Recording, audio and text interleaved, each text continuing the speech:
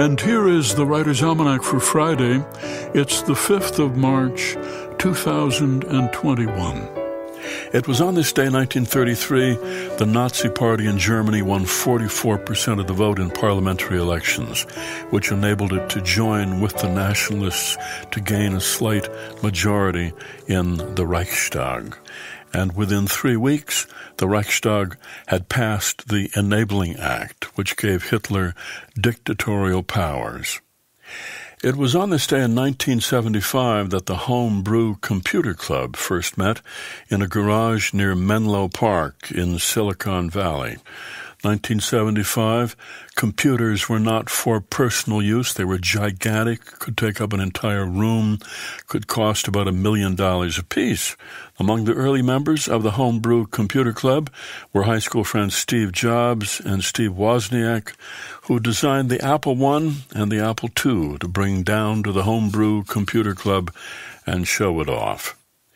It's the birthday of the novelist Frank Norris, Chicago, 1870, author of McTeague. Died at 32 of a ruptured appendix, having written two books of his Epic of Wheat trilogy, The Octopus and The Pit. Frank Norris, who said, I never truckled, I never took off the hat to fashion and held it out for pennies. By God, I told them the truth. They liked it or they didn't like it. It's the birthday of the novelist Leslie Marmon Silko, born Albuquerque, 1948, grew up in the Laguna Pueblo Reservation, went to law school, but she quit after she read Charles Dickens's Bleak House. She said, The law has nothing to do with justice, and injustice can't be left unchallenged. So I decided to be a writer. Writing can't change the world overnight, but writing may have an enormous effect over time, over the long haul. Best known for her novel Ceremony, story of a Laguna man named Tayo who comes home to the reservation after surviving World War II and the Bataan Death March and it's the anniversary of the shooting incident that came to be called the Boston Massacre 1770, an argument between colonials and a British soldier. Crowd of men gathered, soldiers came out on the street, the crowd taunted them, threw ice at them, dared them to shoot, and they did, and five men were killed. The soldiers were put on trial. The lawyer chosen to represent them was John Adams, who managed to get all but two acquitted. And it's the birthday of Lady Gregory, born Isabella Augusta Persse on this day in 1852 in County Tipperary, Ireland, an early patron of William Butler Yeats and his most loyal friend. Along with him, one of the founders of the Abbey Theatre in Dublin.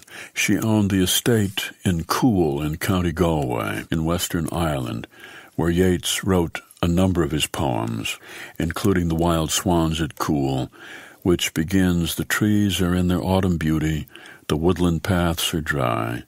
Under the October twilight, the water mirrors a still sky. Upon the brimming water, among the stones, are nine and fifty swans.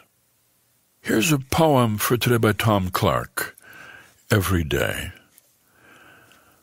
Awake, the mind's hopeless, so at a quarter to six, I rise and run two or three miles in the pristine air of a dark and windy winter morning with a light rain falling and no sound but the pad of my sneakers on the asphalt and the calls of the owls in the cypress trees on Mesa Road.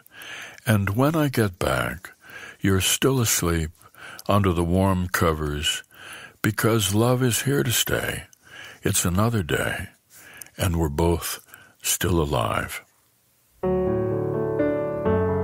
Every Day, a poem by Tom Clark from his collection Light and Shade, published by Coffee House Press and used by permission here on the Writer's Almanac. Be well, do good work, and keep in touch.